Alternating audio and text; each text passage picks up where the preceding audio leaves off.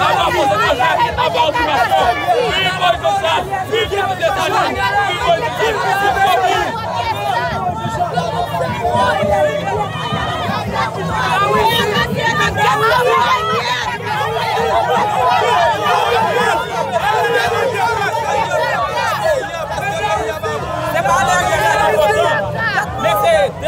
que bota por no colher. Gracias,